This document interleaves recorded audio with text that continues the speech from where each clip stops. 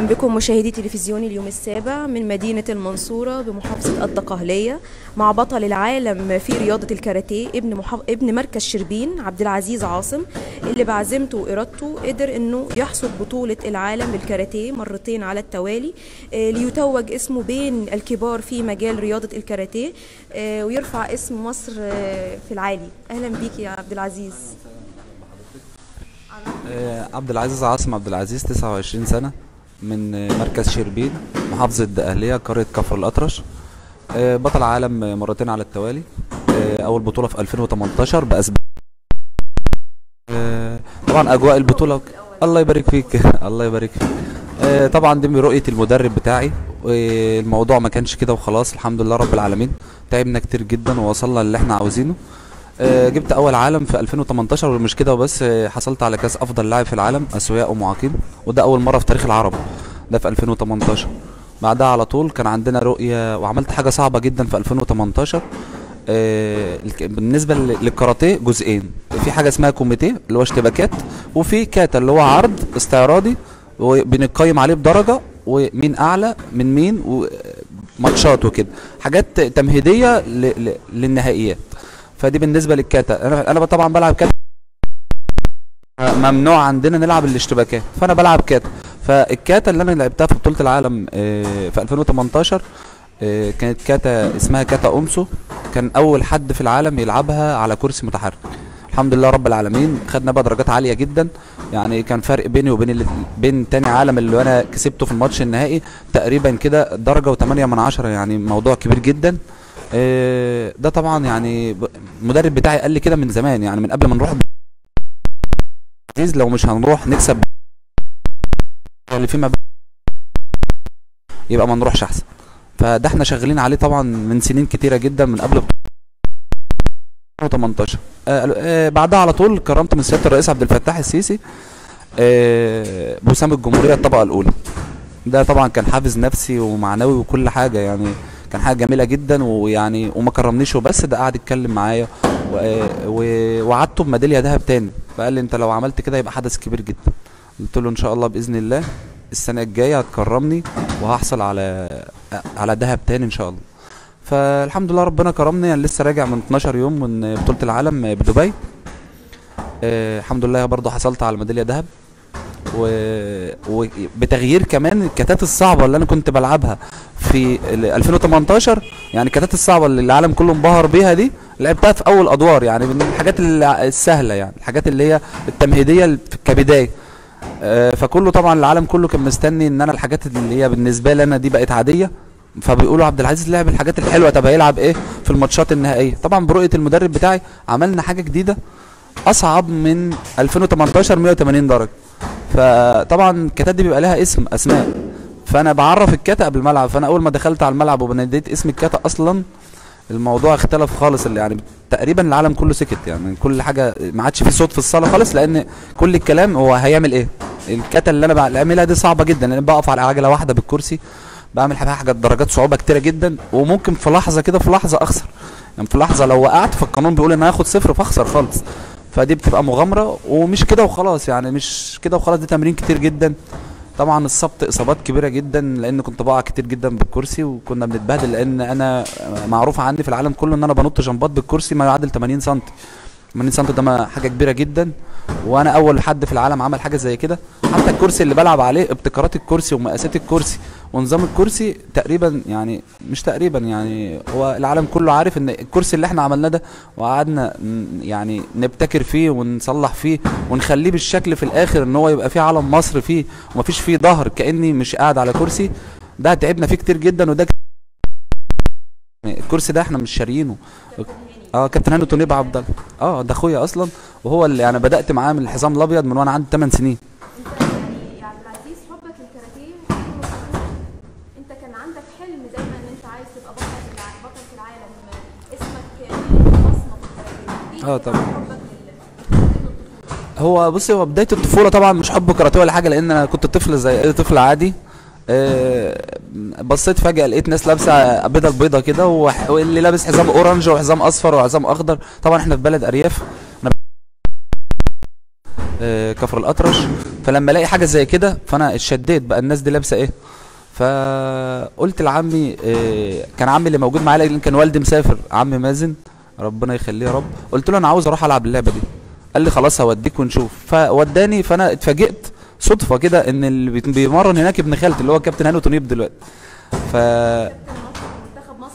مدرب منتخب مصر ناشئين وناشئات دلوقتي المرحله فاول ما شافني هو عارفني أنا ما كنتش عرفته لأن إحنا كنا قاعدين في في ليبيا على ظروف شغل والدي وكده. فقال لي انت كويس وتستمر وكده. طبعا أنا يعني بالنسبة للأرياف مش قصدي حاجة ولكن الاستمرارية في الألعاب الفردية ما بتبقاش كتير. يعني يعني ممكن الحد يلعب سنة يلعب شهرين يقعد تاني يرجع يلعب في الأجازة عشان المدارس. الحاجات اللي إحنا عارفينها دي أنا بقى ما الحمد لله ما يعني ما قعدتش خالص. يعني خلاص بقى استمريت وكلامه اداني دفعة كبيرة إن أنا أكمل وإن أنا أبقى بطل. ما كانش في دماغي أبقى بطل أصلا. أنا في الأول زي ما قلت لك اللي هو لا شايف ناس لابسة بيضة فأنا عاوز ألبس البدلة البيضه وألبس الحزام الأصفر مثلا. وبدأنا بقى مسيره بقى حزام أصفر اورنج أخضر أزرق بني زي أي طفل عادي. آه، أول ما سني وصل 10 سنين بيبقى في بطولات رسمية. فمدربي بدأ يشاركني بقى في البطولات ما كنتش برضو جامد قوي ولا حاجة كنت بجيب خامس بجيب رابع بجيب ثالث عادي خالص كده لغاية سن 13 سنة. خلاص بقيت أول و- وبنافس بقى جمهورية بخش في على مستوى الجمهورية في مصر. الموضوع صعب مش سهل. يعني أنت من أحسن 8 على مستوى الجمهورية. المسيرة كملت لغاية سن 18 سنة. جيت أنا في 18 سنة آه، إحنا آه، عندنا في الأرياف بنتجوز بدري شوية. فأنا خلاص بقى العيلة لازم تتجوز ولازم ولازم. فأنا اتجوزت بعد فرحي على طول عملت الحادثة. فأنا تقريبا في. يعني المدة دي دخلنا في سنة ما اتمرنتش. فعملت الحادثة. حادثة كبيرة جدا طبعا آه، مش عاوز أخوض فيها كتير. بس اللي أقدر أقوله ربنا يرحمه صديقي هو اللي كان عاوز يوصلني للتمرين عشان يتفرج عليا. كنت بدايتي رايح أرجع من بعد الفرح فهو قال لي أوصلك وعايز أتفرج عليك نفسي أتفرج عليك. آه، ربنا يرحمه يا رب. أعز صديق ليا يعني محمد عادل الالفي ربنا يرحمه إن شاء الله وأكيد في مكان يعني أحسن من هنا بكتير.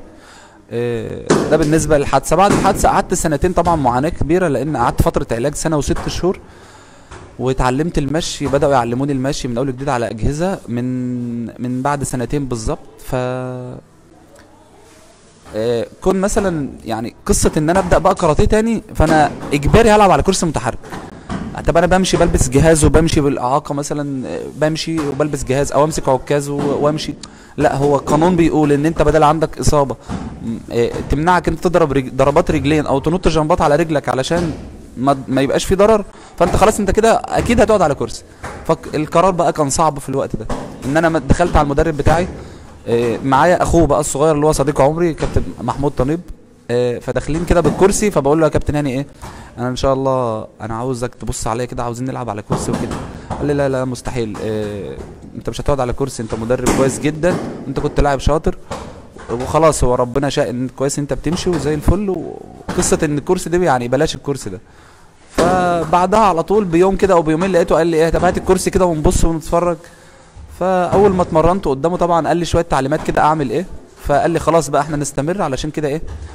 آه لو أنت استمريت على كده هتبقى بطل عالم. طبعا كابتن ب...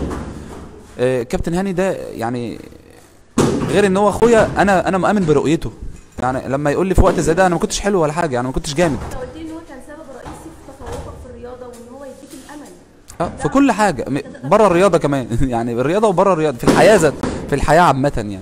فأما الجملة دي طلعت من بقه دي حياتي بقى اتغيرت بقى. اللي هو إيه, إيه لو اتمرنت هتبقى بطل عالم على كده. فخدت الكلام منه لأن أنا بثق فيه جدا يعني وبدأت بقى أتمرن على الكرسي إيه، اتمرنت ثلاث شهور تقريبا وبطولة الجمهورية جت فقال لي خلاص بص أنا رؤيتي إن أنت تبقى بطل عالم ولكن في الثلاث شهور دول ما نقدرش نعمل حاجة كبيرة. بس هنخش نجرب في الجمهورية أنت رقم كام. دخلت في الجمهورية جبت تاني جمهورية. فقال لي ده طبعا حدث جميل وفرحنا مش زعلنا فرحنا لأن يعني أنت أنت بادئ تشوف مين المنافسين ومش عارف مين اللي هيلعبك وكده. فخلاص جبت تاني جمهورية وطبعا كنت بلعب على كرسي من بتاع المستشفيات العادي مش مجهز ولا حاجة. بلعب ببدلة ببدلة عادية لسه. كنا بنشوف لسه الدنيا عاملة إيه. فجينا بقى من تاني جمهورية دي آه، دي اتغيرت بقى خالص. لازم الكرسي يبقى كويس لازم البدلة تبقى كويسة لازم الشكل يبقى العام كبير. اشتغلنا على كده. تاني موسم بعد ست شهور على طول بطولة الجمهوريه جبت أول جمهورية. تصفيات منتخب جبت أول تصفيات منتخب. تقريبا لعبت ثلاث بطولات جمهورية. جبت أول فيهم. وجت بقى بطولة العالم بتاعت 2018 آه، ربنا قدر إن أنا أسافر بطولة العالم في 2018 دي كانت أول بطولة ليا. والكابتن هاني قبل ما نطلع من هنا رؤيته قبل البطولة بأسبوعين قال لي كده خلاص يا حبيبي إحنا نجيب دهب ونيجي. يعني إحنا رايحين نجيب الدهب ونيجي إن شاء الله. ده رؤية يعني لأن شفنا المنافسين وبقينا عارفين هنلاعب مين ومش هنلاعب مين. وفي حاجة اسمها ال- ال- ال- ال- البولات نزلت اللي هو إحنا هنلاعب مين ودول مين اللي هتلاعبنا فاحنا دارسين يعني هو درس هنعمل إيه. آه رجعنا بالدهب الحمد لله بتاعت 2018 وكأس أفضل لاعب في العالم. طبعا ده مش مش أول مرة الحدث ده في في مصر لا أول مرة في العرب. يعني مفيش حد عربي حصل على هذا الكاس. وده طبعا شرف كبير لنا ورفعنا علم مصر في 2018 رجعنا وإحنا راجعين في الطيارة قال لي عبد العزيز اللي اتعمل ده حدث كبير ولكن لازم. لازم تعرف تجيب دهب تاني. لأن طبعا يعني الناس شغالة شغل جامد والدول شغالة إن هي عاوزة أي دولة نفسها تجيب الدهب وترفع علم بلدها فالحمد لله اشتغلنا على شغل جديد. طبعا قبل ما أخوض طبعا آه، البطولة كانت في آخر 2018 في شهر 11 فالرئيس قابلني في شهر 1 2019 آه، كنت أنا دايما بطلع في الإعلام وأقول في فلاح من المنصوره عايز يقابلك يا ريس كنت يعني فهو قابلني بقى. قال لي أنت بقى الفلاح بتاع المنصورة؟ قلت له أيوه. قال لي أنا فخور بيك. قلت له أنا اللي فخور بحضرتك إن أنت بتقابلني وكده. قال لي أنا منحك وسام الجمهوريه في الطبقة الأولى. مش كتير بياخدوا الطبقة الأولى ده بس أنت تستحقها. قلت له أنا بوعد حضرتك إن شاء الله إن أنا أرفع علم مصر بكرة آه، السنة الجاية. ومش هجيب دهب وبس إحنا أنا لو جبت دهب السنة الجاية نبقى إحنا ترتيب عام أول على العالم. مش بعبد العزيز بس بمنتخب مصر يعني. فأنا الجملة دي مسجله مسجله ومعايا يعني. فالحمد لله أنا وفيت بوعدي. زي ما الرئيس برضه وافى بوعده وقابلني. فأنا وفيت بوعدي وراجع بقالي 11 يوم. يعني آه اليوم اللي رجعت فيه دكتور أشرف دكتور أشرف صبحي الوزير آه قابلني في المطار. ده كانت مفاجأة كبيرة جدا وكرمني في المطار. وكابتن آه، محمد محروس الدهراوي رئيس الاتحاد المصري للكاراتيه. طبعا ده اللي مدعمنا من زمان وعامل لنا يعني في كل حاجة. يعني مرتب شهري آه، بيحاول يعني يخلينا مش محتاجين حاجة آه، بيحاول يعني يحسن لنا الوضع إن إحنا مش ذوي همم إحنا أسوياء عادي خالص ولنا متطلبات. فهو بيعمل لنا الحاجات كلها اللي هو يعني نبقى مستريحين. حتى في المنتخب كنا بنتجمع في مكان كده مش وحش ولا حاجة ولكن مش مجهز لينا. هو ودانا المركز الأولمبي بالمعادي انضف مكان على مستوى مصر واللي بيشرف عليه دكتور أشرف صبحي وزير الرياضة. فطبعا ده مجهز جدا جدا جدا. بالنسبة للأكل الشرب النوم راحة نفسية آه، صالات مجهزة كل حاجة آه، تمام. فأنا بشكر الكابتن محمد محروس الدهراوي المرة الثانية رئيس الاتحاد المصري للكاراتيه توفيره لكل الحاجات دي ولأن أنا في أي وقت ممكن أكلمه على الموبايل فيرد عليا حتى لو بالليل عادي. فده شكر خاص مني ليه. وشكرا طبعا للكابتن محمد رمضان رئيس آه، رئيس المنتخب رئيس المنتخب آه، قومي لنا آه، اللي هو أصلا مقيم على المنتخب من 2010 من قبل ما أنا أكون بطل عالم وطبعا لمدربي الكابتن هانو تنيب عبد الله اللي هو أخويا الكبير وقدوتي في الحياة. ويا رب بس أبقى نصه إن شاء الله. يا عبد العزيز كمان يعني ما اعتمدتش على البطولة أنت كمان بقيت تدرب الأطفال هنا في أكاديمية العالمي فأنت حابب تدي خبرتك كمان للأطفال دي حاجة كويسة جدا. آه هو زي طبعا ما قلت ما قلنا إن رؤية, رؤية الكابتن هاني في البطولة اللي فاتت واللي قبلها برضو دي رؤية المدرب بتاعي قال لي أنت مدرب جامد وأحسن مثلا آه، إحنا المسافة بين الم... بين الصالة و... وبيتي مثلا ساعتين فبيقول لي أنت مش هتيجي ساعتين تتمرن وتمشي كده أنت مش شغال حاجة ف آه. آه، الناس اللي ورايا دول آه، لعيبة طبعا الكابتن هاني كلها أنا بدرب معاه ماشي وكل حاجة ولكن الناس دي كلها في منتخب مصر آه تقريبا كلهم يعني في منتخب مصر أبطال جمهورية. انت بطولات آه، ومراكز عالية جدا في رياضة الكاراتيه. أيوه. ده حتى مثلا الصالة اللي إحنا فيها دي أكاديمية العالمي طبعا آه، مش هيبقى في صالات زيها كتير لأن طبعا إحنا مدعومين من سيادة الرئيس عبد الفتاح السيسي آه، آه، في الصاله دي لأن أنا كنت بلعب باسم نوادي ما كانش متوفر لي مكان إن أنا أتدرب فيه أو أدرب فيه. كان صعب جدا إن أنا أروح نادي متفرغ للكاراتيه بس لأن زي ما إحنا عارفين النادي بيبقى مثلا في آه، كاراتيه وتايكوندو وكورة وألعاب كتير فأنا مش هبقى المكان مش هيبقى متفرغ للكاراتيه وبس. فطبعا جيت المحافظة هنا بعد تكريمي من سيادة الرئيس فلقيت المكان ده تقريبا اتفتح لنا وكده إن إحنا نشتغل فيه على مستوى ال- المحافظة بتاعتنا وكده. والحمد لله إحنا منافسين جامدين قوي على مستوى مصر بالنسبة للعيبة بتاعتنا. أيوه. يعني أنت مثال يا عبد العزيز يحتذى بيه. شكرا. وتحديك لنفسك إن أنت تحقق بطولتين آه، مرتين على التوالي. تمام. أيوه ده آه دي دي دي ميدالية العالم 2018 ذهب. طبعا عليها هنا الشرح بتاع البطولة كله. بعدها على طول وسام الجمهورية الطبقة الأولى. من الرئيس عبد الفتاح السيسي طبعا بعدها دي آخر حاجة بطولة العالم دي دهب بأسبانيا مدريد. عليها برضو الشرح التفصيلي كله.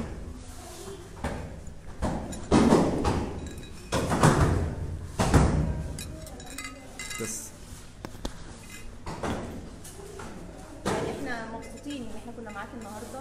ربنا يوفقك دايما وتحقق آه، بطولات أكتر وأكتر. ترفع اسم مصر دايما. بإذن الله. نتمنى لك كل التوفيق والنجاح. بإذن الله. آه، ومعانا الكابتن هاني كمان. مدرب منتخب مصر للناشئين والناشئات. أهلا بحضرتك.